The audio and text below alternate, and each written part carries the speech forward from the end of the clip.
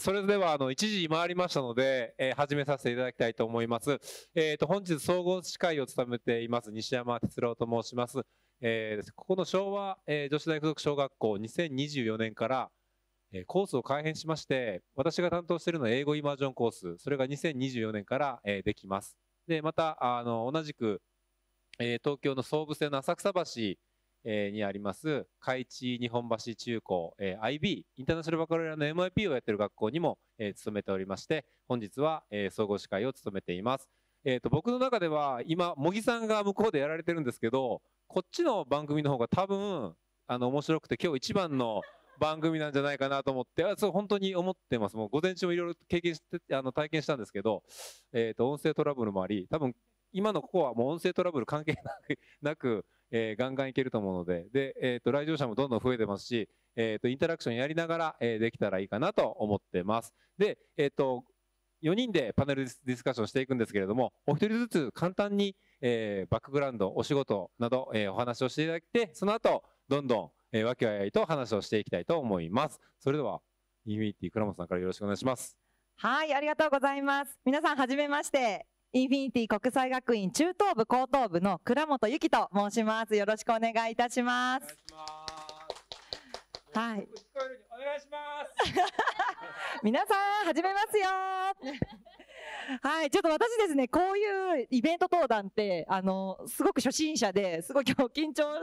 してるんですよ。本当はあの、そう、大数な人間じゃないので、本当にこういう登壇は一切したことないので、今日ちょっとすごくドキドキしてます。ただ、あの、今日座談会ということで、あの、保護者の皆さんとか、あの、今日聞いてくださってる方々と一緒に、あの、このイベントを作り上げることができるということで、なんかそれなら大丈夫な気がすると思って引き受けさせていただきました。で、あの、簡単に私の所属している学校と、まあ、の、私のことをお伝えさせていただきたいなと思います。あの、私たちインフィニティ国際学院中等部高等部という学校は、世界を現場に、あの、世界現場を舞台にして、生きる力を学ぶオルタナティブスクールというコンセプトでやらせてもらっています。で、私たちすごく面白いのが、実はこういった学校の校舎みたいなのってないんです。え？って思えるじゃないですか。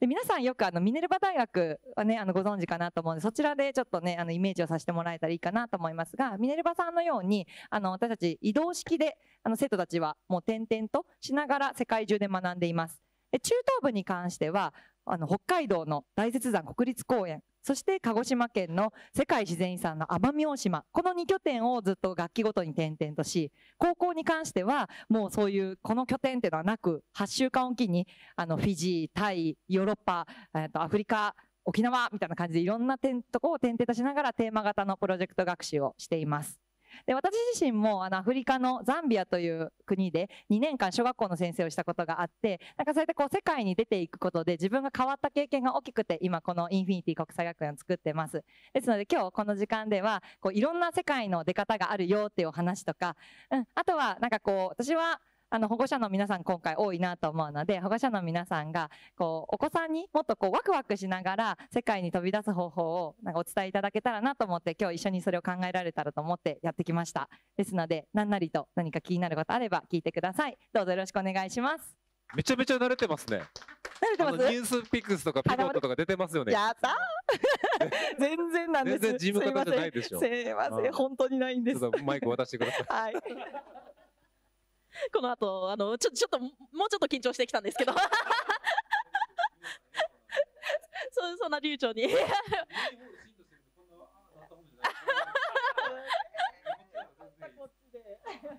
はい。はい、あの、実は私の弟なんですよ。そう、後ろにいらっしゃるのが15歳離れてる弟双子2人と、後ろにお母さんです。ありがとう。ここに座ってもらうか。いや、あの、遅れまして、はじめまして、医者先生と申します。えっと、私は、あの、国際サバイバル、略して国サバという、あの、インターナショナル家庭教師サービスの代表を務めております。えっと、私たちは、えっと、まあ、自分の、あの、経験をもとに、インターナショナルスクールに行ってきた経験をもとに、えっと、IB だったり、AP だったり、IGCSE だったり、えっと、世界の主な、あの、インターナショナルカリキュラムの、えっと、サポ、学習サポート、そして、えっと、新しい学校に行きたい時だったり、まあ、留学したい時のああのその準備のサポートを行わせていただいております。よろしくお願いします。さあ大鳥は？またそうハードルを上げる感じですか？やめてください。もう、この二人の後ですから。えー皆さん、はじめまして、EF の井上と申します。えー皆さん、この中で EF って聞いたことある方っていらっしゃいますか？あ、あ、結構いらっしゃるんですね。ありがとうございます。でもなんか語学学校って感じしませんか ?EF って。実は EF って、あの、スウェーデンにある、あの、会社でです。スウェーデンでできた会社で、今全世界で5万人以上が働いている、かなり大きな教育機関なんですね。で、その中で語学研修の部門っていうのはある一部で、実はその中にも、あの、大学の運営であったりだとか、あとは私が今所属している EF アカデミーっていうボーディングスクールえの運営もしてたりとか、世界中な教育の機会をあの届けている、そういった会社になります。で、私が今所属している EF アカデミーというのは、えっ、と、日本でいうところの中3から高校2年生までの、いわゆる全寮制の高校になります。これ特徴がですね、あの、例えばアメリカとかイギリスにある学校って、やはりそのアメリカ人であったり、イギリス人がほとんどになるんですが、EF はですね、EF アカデミーはアメリカとイギリスに校舎を持っていて、えー全世界から60カ国ぐらいから来ている、非常に国際色豊かな学校になります。で、教え方に関しても先ほどインフィニティさんとかおっしゃったようなあ感じでですね、いわゆる日本的なこう、先生が黒板に書いて、はーみたいな感じの授業は全く行わず、行わず、プロジェクトベースの授業が、あの、メインになってきますので、先日ちょっと行ってきたんですよ。まあ、この子たちと日本にいる普通の高校の子たちは戦うのかと思うと、すごく心底恐ろしくなったっていうかね、そんな感じがした、あ私という印象がありました。で、私自身はですね、実はあの皆さんかなり立派な経歴をお持ちの方々だと思うんですが、私は30歳までプータローをしてまして、えーバックバンドのギタリストをずっとやってまして、で、それで辞めた後にですね、何を血迷ったか30歳でカナダに留学をしてですね、そこでやっぱりいろんなことを学んで、それで今、こういった教育に関して20年ぐらい、え携わっておるものです。今日は本当に楽しみにしてまいまいりましたので、よろしくお願いいたします。いやもうこのね今自己紹介聞いてるだけですごく多様性があっていいメンバーだと思うんですよねもっとちょっと誰か呼んできてほしいですねお客さんを本当に。もう今日来た方たちは本当にお得だなとえー思いますが、えー、といくつか質問を投げかけながらあのざっくばらんにお話をしていきたいと思います。で私あの20年間主に私立の中学高等学校で英語を教えてきたんですね。で自分自身は英語はあの好きで勉強を確か小学校6年勉強っていうかえっと年がバレるんですけど僕ビバリーヒルズ高校白書がめっちゃ好きやったんですけどそれを日本語で聞いて英語で聞いてっていうのを毎週やってたらいつの間にかあの自分の発音がアメリカ西海岸になっていたっていうみたいなそういうバックグラウンドがあってで常に自分は外国人と喋りたいっていうモチベーションで英語を勉強してきたので楽しいっていうことしかないんですね自分の中に。ただ、えー、とずっとこう20年間勉強してきたんですけどなんか周りに外国語を喋るロールモデルがやっぱり日本社会で少なくてで子どもたちも受験のために勉強してるし先生たちも受験のために勉強してるからあの年々辛くなってきてて今が最も辛いあのこの4月めちゃくちゃ辛くてあの現場で今18時間ぐらい授業してるんですけどなんでこんなに面白くなさそうにこう学ぶんだろうってで彼らのせいじゃないと思うんですでそこでちょっとあの話持っていくんですけどやっぱりこう海外に行くとか海外で学ぶとか海外にえー行って仕事をするとか海外の大学に行くとか留学するとかっていうモチベーションが、えー、と受験を経て日本の大学に行くだけじゃなくていろんな選択肢があるっていうところを子どもたちが持ち得たら英語をもっと前向きに勉強するんじゃないかって僕は仮説を立ててるんですけど あのだから今ちょっとコロナで留学がこう少し新聞出たとこあると思うんですけどお三方プロフェッショナルだと思うので現在の今留学事情状況っていうのがあの世界を見た時どんな風になってるのかなっていうのをちょっとお聞きしたいなと思ってます。お願いします。私からで大丈夫ですか？なんか留学っていうふうにイメージされるのって大体語学学校とか大学進学とかですけど全くそうじゃないタイプのあの イレギュラーなタイプの留学の仕方の私が答えるとか大変恐縮だなと思うんですが。はいあの私たちインフィニティ国際学院は高等部があの世界を先ほど話したように旅をしている形になります。ですので、えっと、このコロナ禍っていうのはもう本当に最初大打撃でした。ただ、あの、2021年か、だから昨年あ、そうですね、昨年、あ、22年ですね。昨年から、あの、私たち再開をしまして、最初、あの、東南アジアから再開したんですけど、もうあの、現地に行っても、全然そのコロナの気配が全くない状態で、そこから私たちも、え、もうこれは、どんどん進めていってしまった方がいいんではないかということで、あの、世界に飛び出すことにしました。で、それからはもう本当に、なんですかね、逆に日本にいると制限があった状況だったんですけど、海外に行ってしまった方がのびのびとあの過ごせましたし、はい、あの生徒たちもプロジェクトもあの進められました。で、実際ですね、実は私たちカンボジアで、えっと、8週間滞在している間にコロナに 4, 4名の生徒がかかってしまったんですよ。でも、あの、現地の方々ももう全然なんかそれに対して差別とかもないですし、うん、なんかむしろ日本よりも本当にただの風邪みたいな感じで なってたので、なのでなんかそのコロナによる障壁っていうのはもうほぼないなと思って、今年度からはもうタイ、フィジー、ヨーロッパ、あと、な、いろんな国をもう再開をしているところですね。えそのまあ語学だけできればというよりも経験をさせるっていうところを重視されてると思うんですけど実際にカンボジアとかいろんなところ連れて行かれた時の子どもたちの目の輝きとかあのな変化とかどんな感じですか？あもうそれは本当に、ね、あの語学学校を否定するとかではないですけど学校っていうものに入るよりもやっぱり旅する形の方がすごい生徒たちはあの好奇心がくすぐられてるなって。偶発的な出会いって皆さん意外とこう今まで振り返った時にすごい心に残ってることって多くないですか？か心にスイッチが入った時とかって何か仕組まれたものよりもなんかたまたま偶然出会った人とかたまたま目にした光景とかそういうものでなんかこう、ね、自分があこれやってみたいなとか、ね、あの好奇心がくすぐられることって多いのかなと思うんですけどまさに毎日があのインフィニティの子たちはそういう状況なので、はい、僕も入れますか？はい、生徒として。ぜひ来てください。インターン生募集してます。石田先生いかがですか？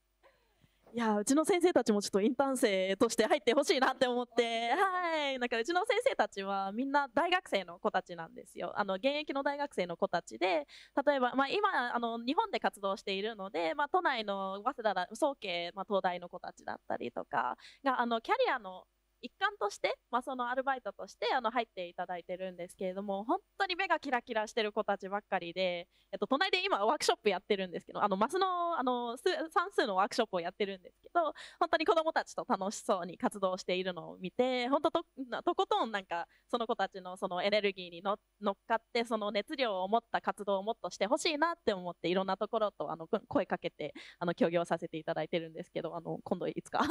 って感じで。いやあの留留学ってコロナ禍になってなんか留学の仕方が変わったなそもそも変わったなって感じます。留学って、えっとまあ、もちろん現地に行くっていう方法もあるんですけどうちとしてはあの家庭教師サービスとしてオンラインさオンラインでの家庭教師を、えっと、提供し始めてそれでどうなるかというともともと海外に留学していて日本に帰ってこれなかった日本の家庭教師の子たちがうちにアプライし始めたんですよ先生として。そうすると何が起こるかというと都内であなんか海外に行けないなどうしようって思っている生徒たちでもこの海外にいる先生たちとつながって、まあ、家庭教師の授業を受けながらあなんか私も留学したらああなるんだとか、えっと、あこういうパターンもあるんだとか、まあ、いろんな選択肢を、まあ、妄想できる状態にできるっていうのが、あのまあ、コロナ中に見えてきたんですよ。なのでえああと、まあ、個人的に言うと,、えっとコロナ中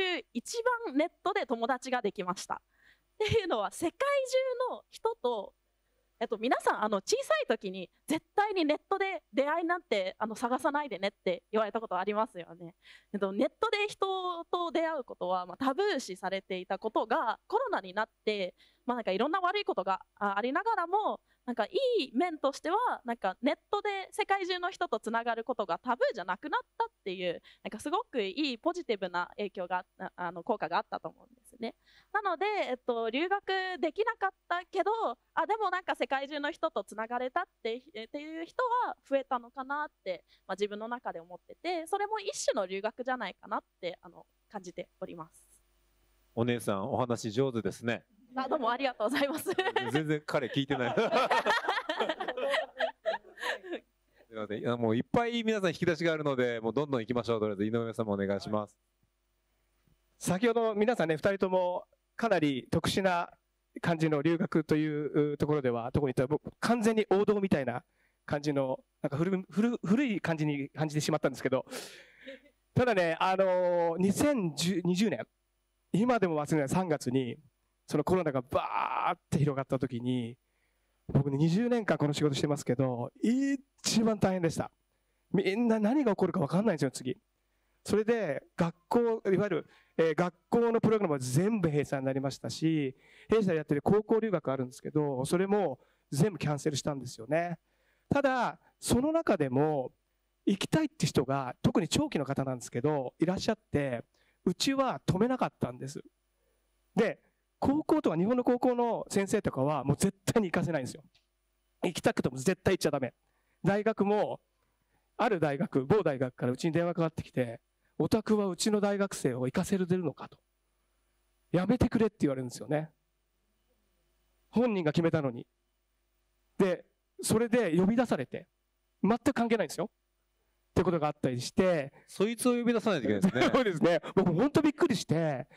やっぱりこれ分かんないちょっとあんまり言っちゃいけないのかもしれないんですけれども、やっぱり学校のそういった組織って、多分西山さんなんかよくご存知だと思うんですけど、非常にこう、失敗をしちゃいけないっていうような。あの学校ってゼロリスクにする場所なんですよ。すね、だから問題が起きなかったらその日 OK みたいな感じなんで、だから中、中、なんていうのかな、ミドル、ミドルにいる子とか、あとよくできる子とか、またいろんな才能を持ってる子たちはとりあえず置いといて、あの悪さをしなかったら先生の仕事 OK なんでゼロリスクにしたいんです。で親からのこれああ担任の仕事終わった職員室戻った。4時に職員室の電話が鳴らなかったよし OK みたいな。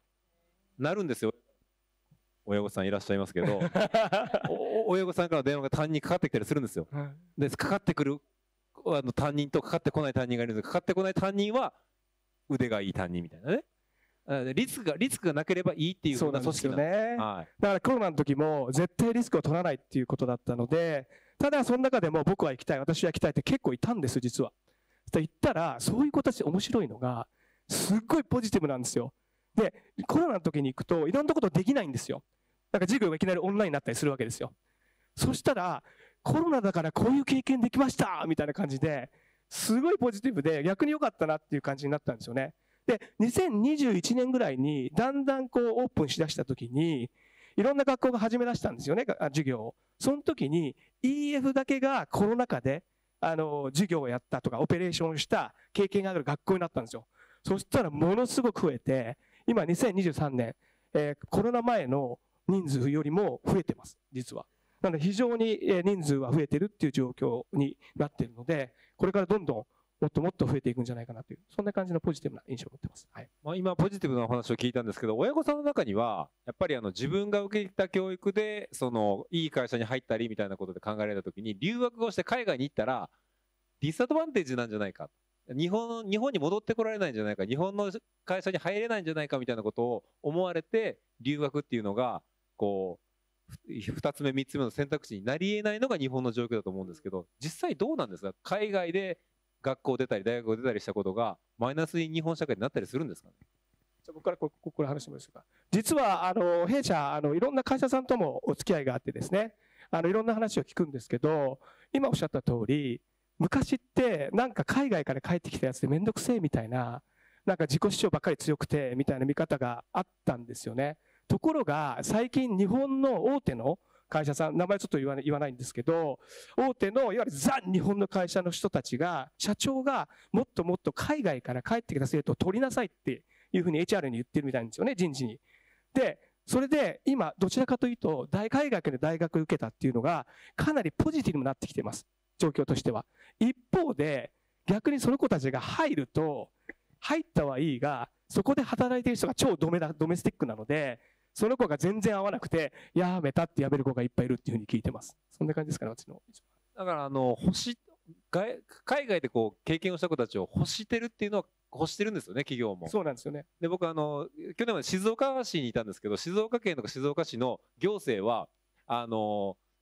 地域の、地域というか、会社が高度、外国人の高度人材を欲しているんですよね。もう入ってきてほしい。ただ問題は、えー、その方たちが一家転住で日本に入ってきた時にお子さんを通わせる学校がないのでインターナショナルスクールとかが地方にこうできてないので結局、えー、企業は雇えずに企業が小さくなってるっていうのはこれ実はあの東京以外の地方の今現状だったりするので本当は企業は求めたりしますね。いかがですか？えっと、その日本の会社に入日本のまあ日系の会社に入って、えっと数ヶ月で辞めたっていうのは私なんですけど、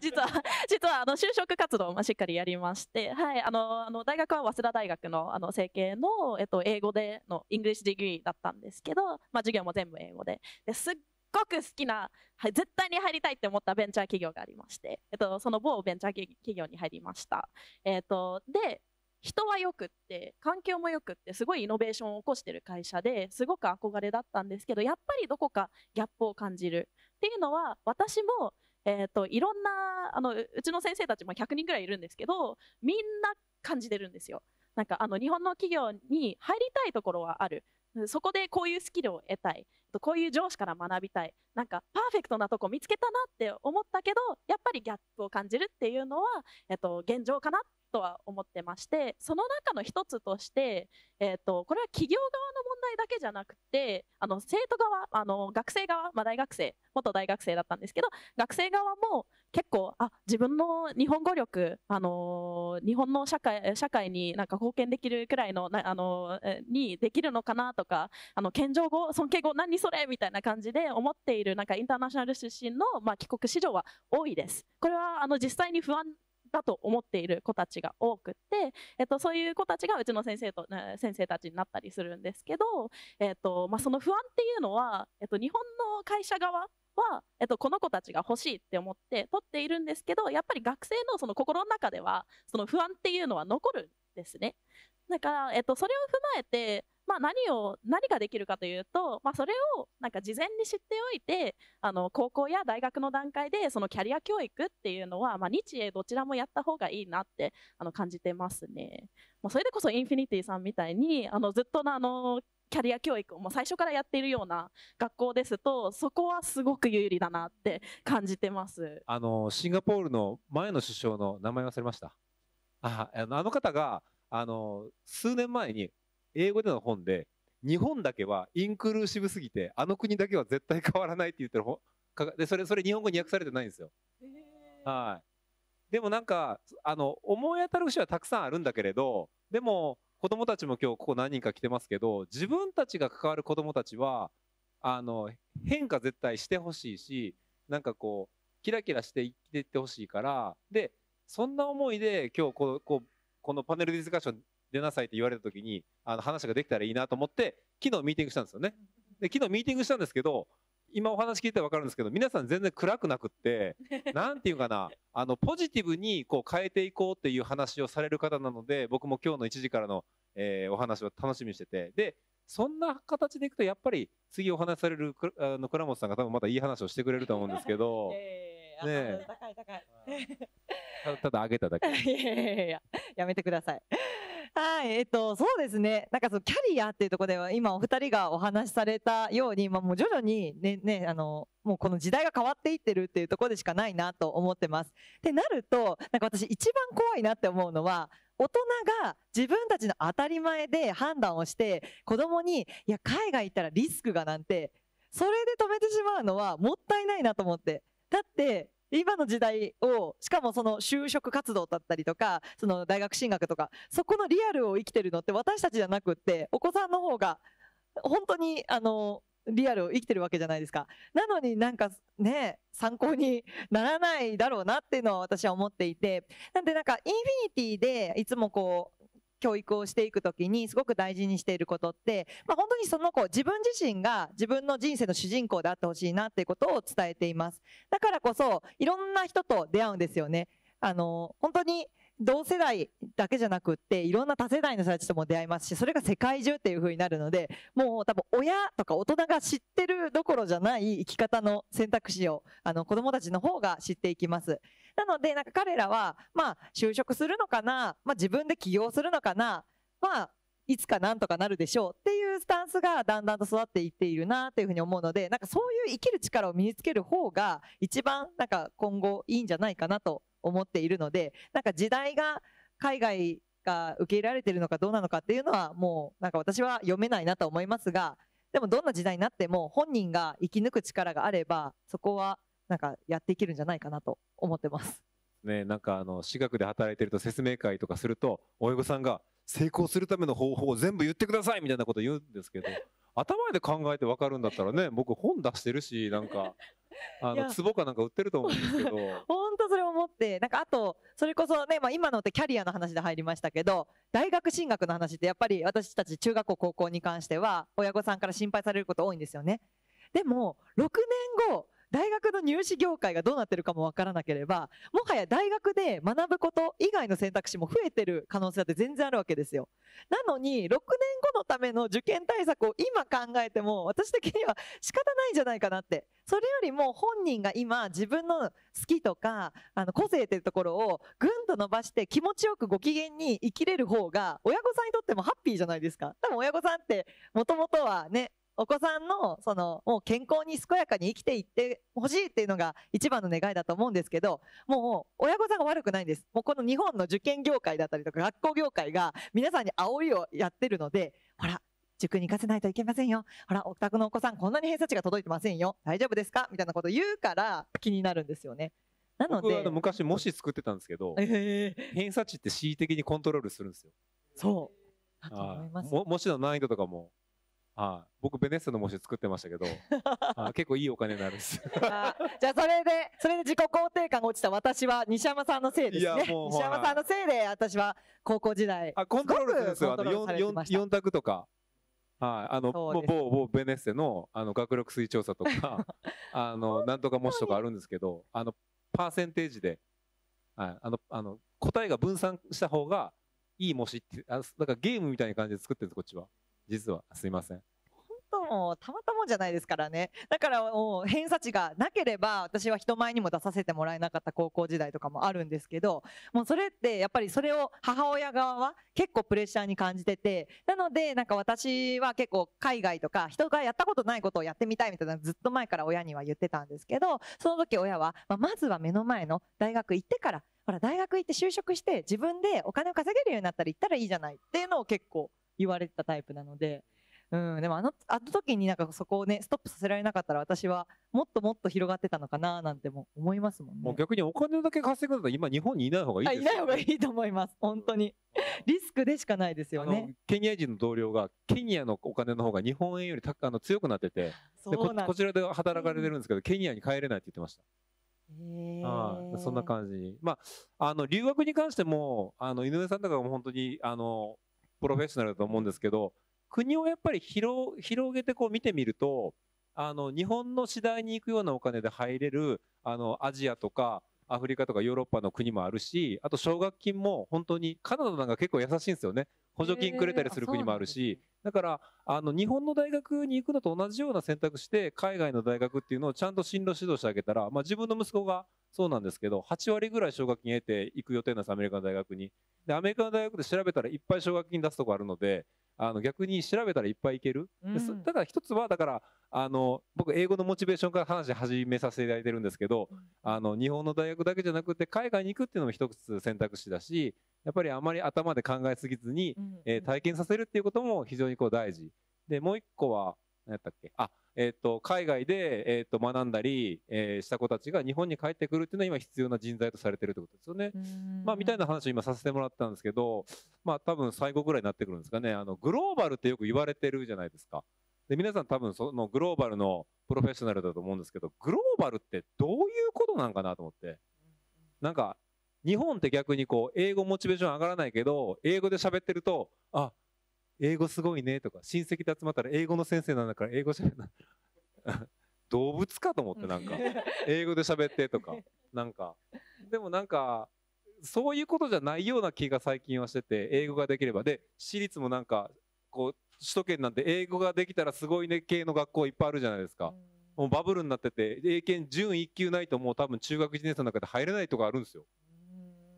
すごくないですか？し小学6年生の中で英検1級とか準1級持ってないと学校に入れないんですよ。すごいなと思って。どこに行くんだろうみたいな。宇宙の大学ですかみたいな。でもなんかちょっともっと立ち返ってあのよく毎日メディアで出る大谷翔平君なんか彼なんかはグローバルだと思うんですけどなんか本当にグローバルってどういうことなんかなっていうのをなんか最後に話し合いたいんですけどいかがですか？グローバルって何みたい私はもう多様な人たちと生きる力がグローバルの力だなと思っていてなのでそれは語学ももちろん含まれるなとも思いますしコミュニケーション能力とかあとは自分からのその発信だけじゃなくて受け入れる力ここ意外とない人多いと思うんですよ。でこれは本当インフィニティでも入ってくる中学生高校生がない状態の子の方が本当に多いです。でもうちの場合そのまあ世界の海外の方々の文化を受け入れるってこともですけど隣にいる友人の生活を受け入れられることができるか。そこも結構難しくて私そういうのからもあの受け入れられる力ってグローバルの力の一つだと思ってるんですよね。なのでなんか意外とグローバルの力を身につけるって結構あのハードル高いものに見えて身近なところからできると思っています。うん、環境を変えればねもっとしやすくはなりますけど。ちょっとこういいいいか悪いかはちょっと置いといてですね。あの先日ニュージーランドにあの日本語教師と行ってる方とあのズームでお話をした時にあの日本と日本人の子たちとニュージーランド人の子たちの大きな違いは何かって聞いたらあの現地の子たちはニュージーランド人の子人目を気にしないって聞いたんですね。あそっかと。で僕は気にしないんですよで僕が派手な格好で学校に行くとみんな振り返って見るんですけど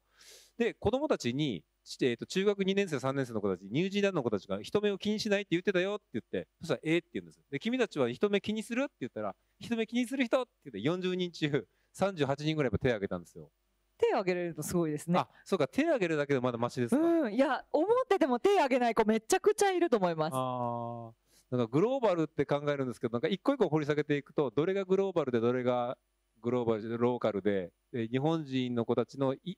できていることとできてないこととなんかちょっとだんだん分からなくなってきててグローバルって何か分からなくて。逆になんかあのここにいらっしゃる皆さんとかってなんかどんな風に考えられてるのかなとも気になったんですけどグローバルってこんなのとかってあったりします？ハードル高いですかね？もうちょっと手垢ついてる気するんですよ。英語教育と一緒で。なんかグローバルって言ってるけど。グローバルとかあと向こうでも話聞いてるとなんかせ活躍する力とかってとりあえず言ってるけど、うん、あのキャッチフレーズで、はい、活躍ってどういうことなんやろうと思って。確かに。翔平大谷みたいだったら活躍なのかなと思って。だ活躍で何がグローバルなのか分からなくなってきて。そうなんですよね。結構あのやっぱり成功を求めちゃうっていうのが、まあ、今のそのインターナショナル教育においてちょっと一番危ないなって思っていて、えーとまあ、ちょっとすごい道徳観、まあ、倫理観念になっちゃうんですけど人間って生まれてきただけで価値があるんですよ。お母様だって頑張って産んだし、まあ、お父様もお母様も切磋琢磨してなんかあの大事に産んだ子供です。で生まれて生まれるだけで息をして元気に育ってるだけで人間って価値がありますその中で活躍しないとグローバルじゃないとか、まあ、そこってまあおかしくってで今言ったようにグローバルって何かというとやっぱりあの周りの人そのいろんな人がいる中でお隣の人でもいいいいし同じ国でもあの違う国でもいいから、えっと、人を受け入れる力。で人を受け入れるために何が必要なのかって言ったらいろんな知識だとか知見あの世界についての知見が必要になる。だから知識が必要になる。でお互いに意思疎通しないと受け入れられないから英語英語だったりいろんな言語が必要になる。だから、えっと、そのグローバルあの英語だからグローバルではなくて英語だったり、まあ、言語だったりあの世界についての知識っていうものはグローバルになるためのその人材になるためのただのツールだっていうことをツールだっていう認識はなんかもっと広めたいなって思いますね。なのでグローバルっていうのはやっぱりその本当にゆきさんが言ってることが、まあ、あのおっしゃる通りだなって思っていてあのその周りとつながりをいかに作れるか。でこれは、えーとまあ、ちょっと付け足してしまうと,、えーと、人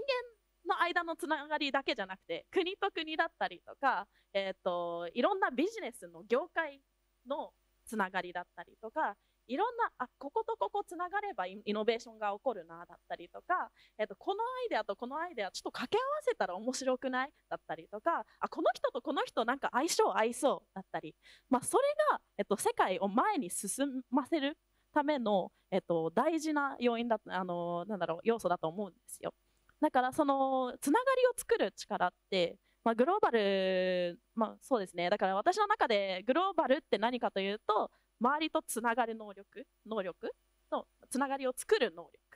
まあ、人においても何においてもっていうのが、まあ、自分の中の回答ですかね。感じです。なんか今まで世間で言われたこととちょっとまた違うなんかいいお話ですよね。ちょっとあの違う路線行ってしまった。いやいやい すいません大事な話ですよね。はい。生まれてきただけではい。ねいいし、うんお金稼いだりなんか名を上げることが成功だと思ってたりとか英語できることがグローバルと思ってるけど、違うんだよって話ですよね。そうですね、もう成功なんて追っていると、まあ、何かの指標があって、まあ、これが成功だって言ってると上、上って絶対にいるんですよ。世界の中では上には上がいるので、それってキリがなくって、まあ、結局は不安になっちゃうだけなので、うん、そこが軸じゃないなって思います。なんか学校の先生たちがよく批判されるのは学校の先生たちは学校しか知らないって言われるんですけどまあでも学校の先生たちは一生懸命やってるんですよ本当に本当に学校大体ブラックなんであの本当に頑張って働いてるんですけどただあの外の世界を知らないので進路指導っていうとも模擬試験の結果を見てお前はここの大学に行けるとしか言わないんだけれど本当はいろんな世界があってお前君はこの能力ができるこの世界に行ってみたらいいのかなって一緒に考えてあげれるのが本当は進路指導で。で昨日のミーティングで言ったんですけど僕はあの4ヶ月前にひょんなことからあのプロの演劇の舞台のオーディションに申し込んだら誰も受からないと思ったけど受かってで中目黒で舞台出てでその後二足のわらじ履きたいから芸能事務所どう？って言われて僕4月から芸能事務所入ったんですでこれって偶然が必然になっただけであの半年前は僕が舞台に出るって誰も思ってなかったし芸能事務所に自分が所属すると思ってなかったしここでこんな話をすると思ってなかったんだけどあの倉本先生さんが言われるようにこうかん、ね、考えすぎに体験するとか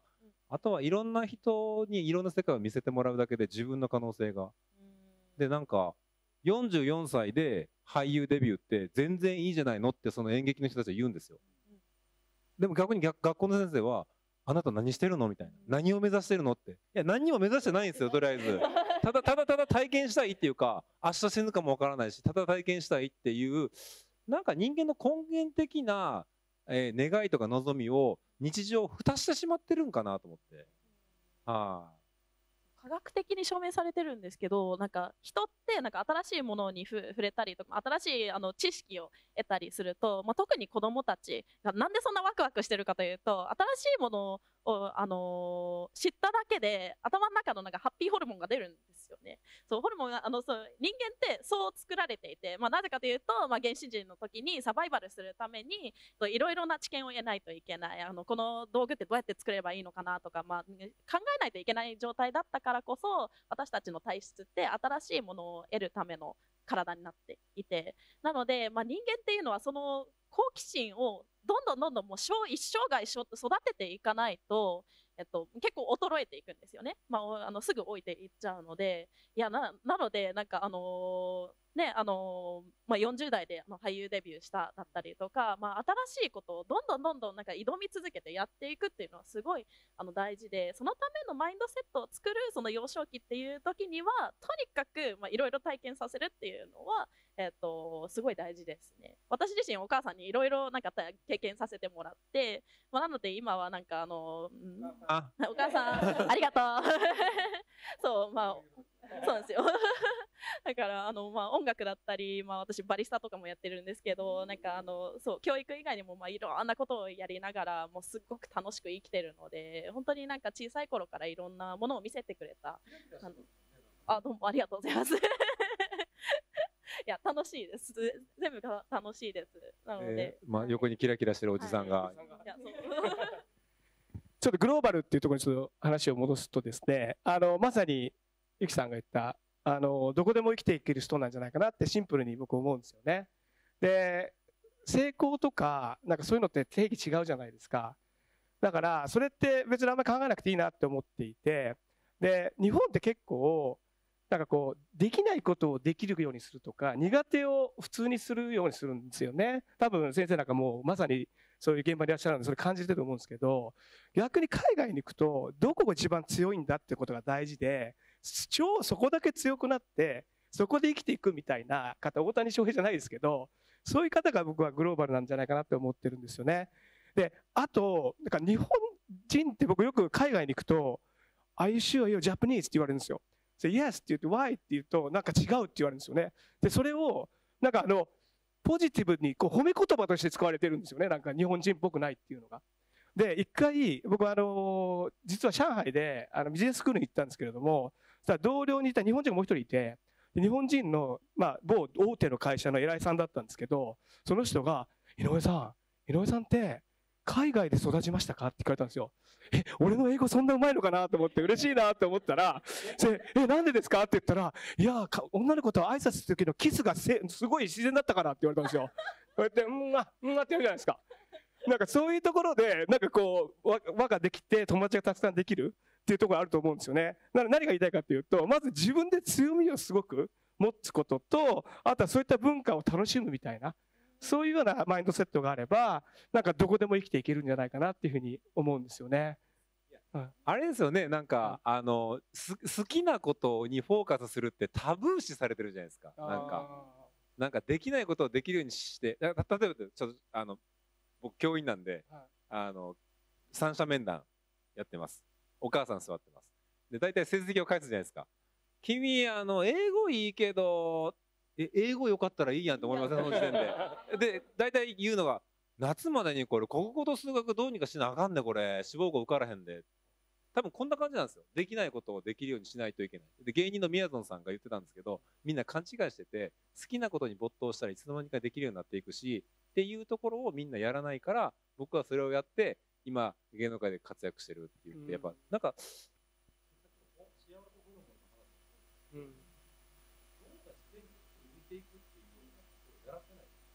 そうなんですよ。だからやっぱりすごく自分に興味あることを一生懸命やることって大事だと思っていて、で僕なんかはもうずっとギターだったんですよ。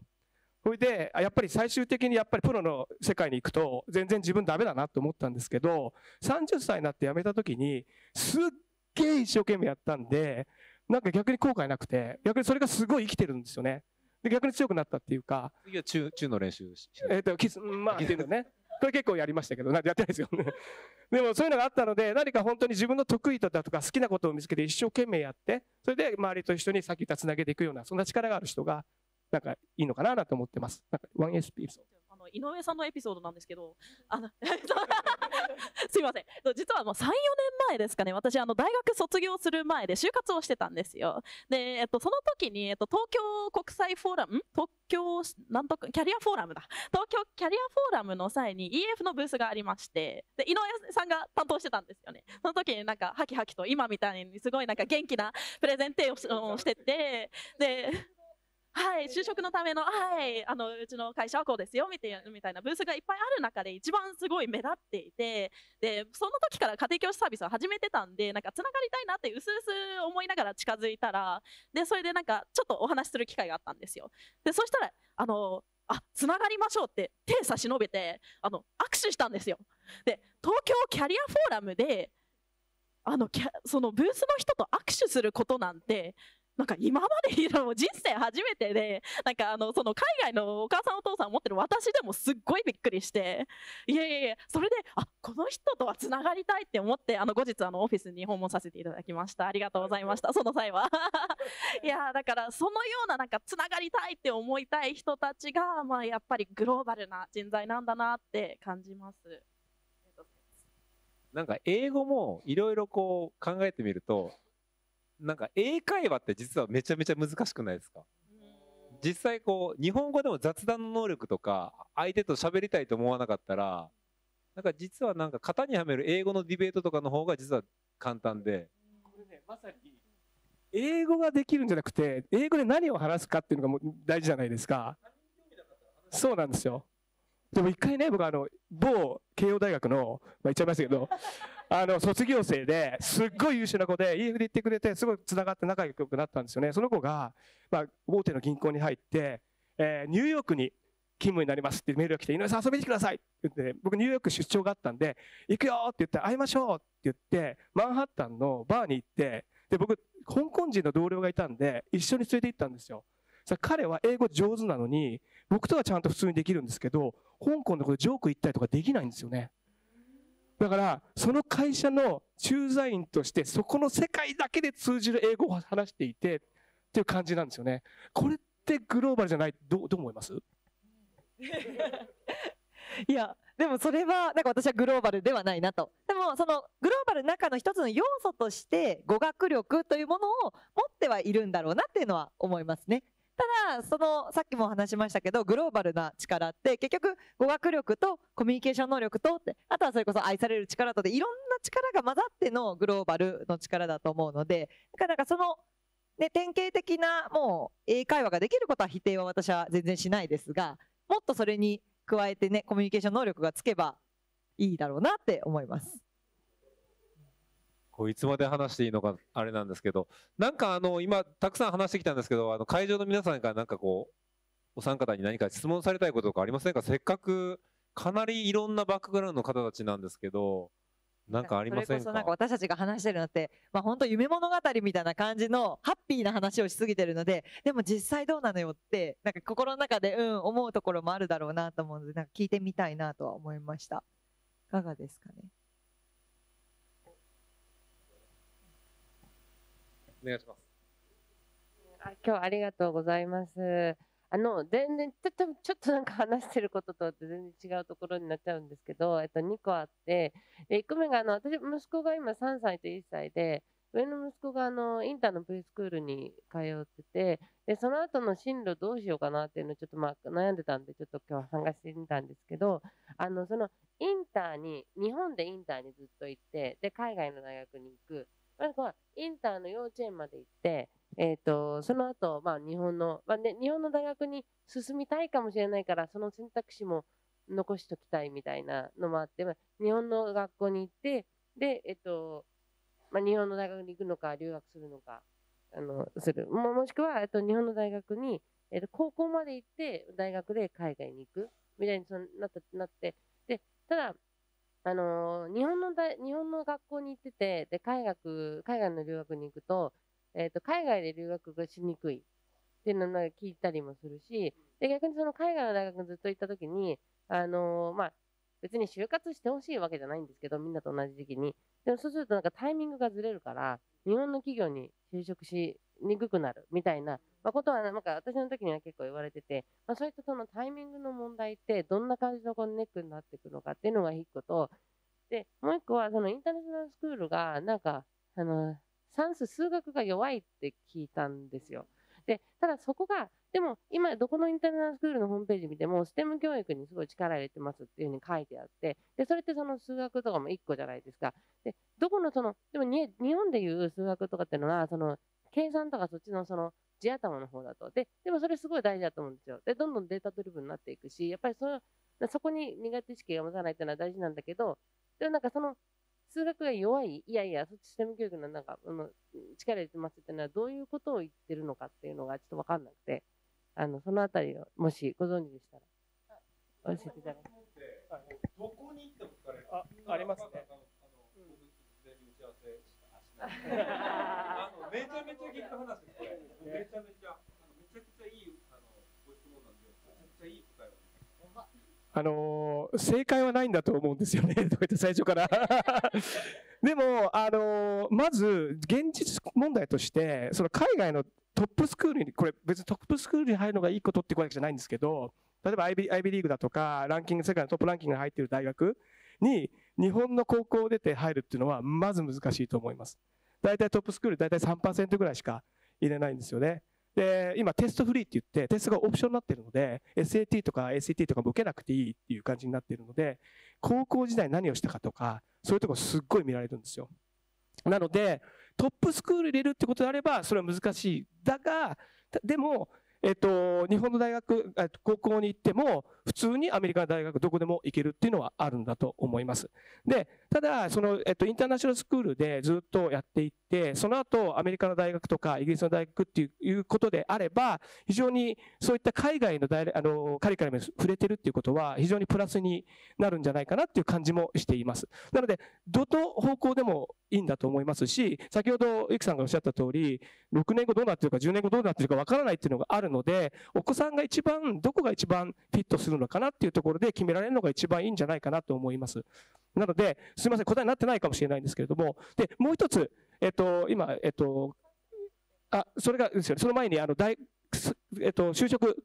タイミングですね。で、タイミングなんですけど、これもまさに昨日話したんですけど、実は新卒っていうのが日本にあるんですよね。だからみんなすごい新卒、え、新卒の資格みたいになってるらしいんですけど、それがどうも変わってきてるようで、えっと、卒業してから3年ぐらいは新卒扱いみたいな、そんな流れにもなっているようなんです。なので、企業としても、先ほど申し上げた通り、海外で大学を出た人を取りたいっていうのがどんどん増えてきてるんですよね。なので、そっち側がだいぶ柔軟になってるっていう動きはあるので、そこはあんまり気にする必要ないんじゃないか。さらに、あと何年後な、なってきたら、もっともっと変わってると思うので、そこはあんまり感じる必要ないかなっていうふうに、私の意見としては思います。はい。えっと、元数学教師として、教師というか家庭教師として、あのインターと、まあ、その日本の学校の違いについてあの説明させていただきたいんですけれども、えっと、私自身あの公立の日本の学校に小学5年生まで通いました。でその後に、えっと、インターナショナルスクールに入ったんですけど、えっと、お母様がおっしゃるその数学が弱い点っていうのは算数と数学で分かれてると思ってまして算数っていうのは今おっしゃってた通りのその基礎学力計算能力暗算能力そのすぐもうその場で分かったっていう、まあ、そそのスキルについては日本って大変発達してるんですよ。これはすっごくあの発達していてもしかしたら若い時に小さい時にその基礎学力をつけた上でそこからインターに入った方がいいのかなとは感じます。っていうのは、えーと、インターだったりとか、まあ、海外の学校で、まあ、よくあの STEM 教育力入れた入れてますっていうのは基礎学力ではではないんですけど応用力に力を入れてるってことなんです。えーと、数学、まあ、STEM 教育に力を入れてるっていうのは探求心をあの育むだったりとか、えーとまあ、その基礎学力を応用させる能力それを社会に貢献するためにどのようにあの問題解決していくかその能力を発達させるその学校の仕組みっていうのはインターなどの方が、えっとまあ、上かなって思います。なのでえでもその応用力をつけるためためにもやっぱり基礎って大事なのでそこはバランスよく、あのいろんな教育のカリキュラムを、まあえっと、組み立てていった方がいいのかなと思います。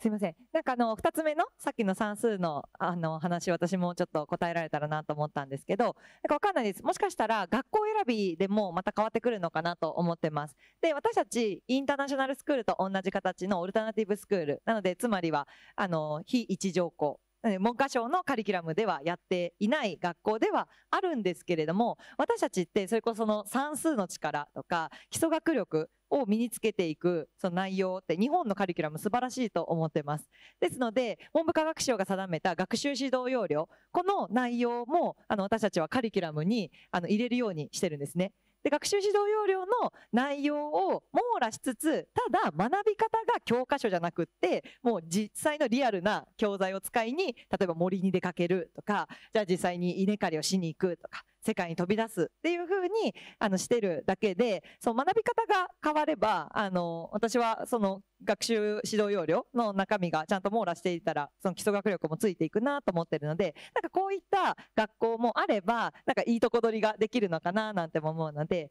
はい、なんかぜひ学校いろいろ見てもらえたらいいんじゃないかなと個人的には思いました。あの最初にお伝えしたここであの英語のイマージョンコースをあの作るんですけどそこもえっ、と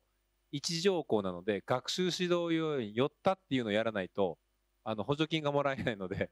あの運営できないんですけど、えー、とそれが海外の教育を教育を取り入れる時の障壁には実はなります。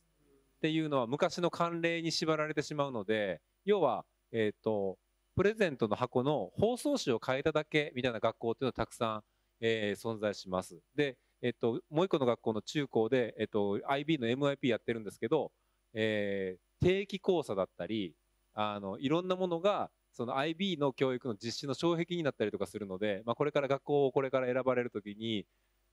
いいことしか言わないんですよ学校は基本的には。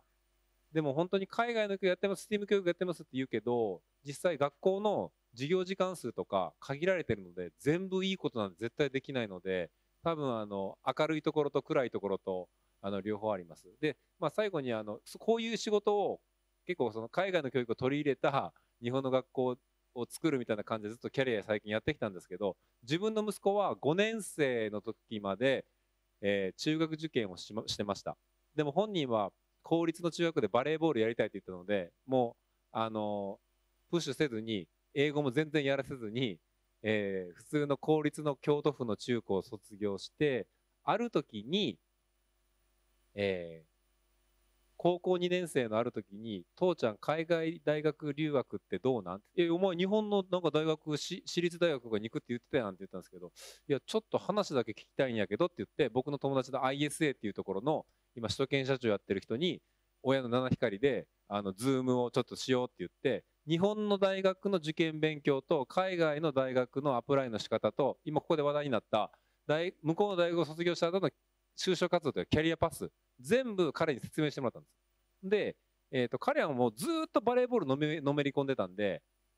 えー、と彼の高校2年生の段階でもう国公立とかはいけないんです。もう間に合わないので。なんか適当にどこどこ行くんやったの青学とか行け行けたら青学とか行けたらいいなとお前生意気やなとか言ってたんですけど、まあ、そんな考えだったんですけどあの留学したいって言ってじゃあ留学しようかって言ってじゃあどこ行きたいまあここの大学行きたい。で大学の世界ランキングで見たらその大学筑波大学と同じぐらいの偏差値だった あのランキングだったんですよ。筑波大学に行こうと思うとあの共通テストとか受けて塾とかも行かないといけないんですけどうちの息子塾全然行ってなくて小学校の時から中学受験以降。で目標が高く定まったので実は今水売大学の大学に今出願してで彼のプランでは、えー、大学1年生2年生まで修了した時点でどっかに編入してでそれの後は、えー、大学院に、えー、行ってできたらもう日本に帰ってこずに海外で就職したいなってみたいに言ってるのでちょっと自分の中で自己矛盾を犯してるんですけどあのそんだけ英語をやらなくても本人がやりたいって思った時に支援してあげれば本人の未来が開けるっていう僕西山って言うんですよ西山家みたいなケースもあるのでなかなかちょっと一括りにはちょっと言えないですよねなかなか。はい、でもあのお母様のあのご質問っていろんなとこでめちゃくちゃ聞くので僕も。多分今日心の中で思ってるっていう方多分いっぱいいらっしゃったんじゃないかなとも思います。ナイス質問ってなってる気がする。僕らが話すキラキラしてるところのダークサイドの部分とかももっと思ってる方がいらっしゃると思うので、ちょっと答えきれてないんですけど、でも今日はあの子供たちをね、ポジティブに引っ張っていけるような、あの、座談会にできたらなと思いましたので、もうちょっと情報を小出しにするようなワークショップは違うところでやってるかもしれませんので、そちらに行っていただいて。でも、あの、本当に、あの、雨の中、たくさんの方々に今日お越しいただきまして、本当に僕は今日話をしたかった、えー、お三方と自由に話をさせていただきまして、お聞き苦しいところもあったかもしれませんけども、最後までご清聴いただきまして、本日はありがとうございました。